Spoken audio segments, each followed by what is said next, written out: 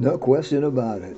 The eyes are loaded with information that would be the envy of any health practitioner, medical professionals included.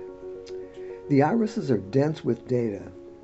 They can tell us so much about the body, especially about our genetic inheritance. Areas of tendency to weakness are easily seen, which is potentially a huge factor in prevention. We can also see toxic deposits, weakened areas, and areas of inflammation, and so much more. Yes, it's true that brown irises can be a bit harder to get information from, especially very dark ones. But when we add the scleras, we triple the data.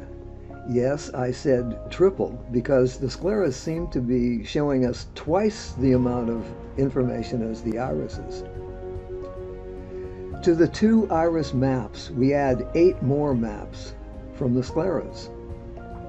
The upper and lower quadrant uh, scleras and the medial and lateral sclera quadrants. That's four sclera quadrant maps in each eye. No matter how dark the iris is, the scleras always come to the rescue with data showing bright, sharp, and clear. Sclera information is quite detailed.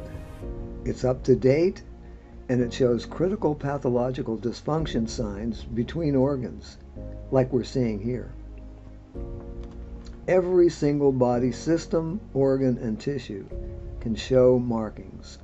We can see congestion from drugs and chemicals, signs of tumor, heart congestion, parent based emotions, and mental stress and the list goes on and on and on. Isn't it time you added sclerology to your practice?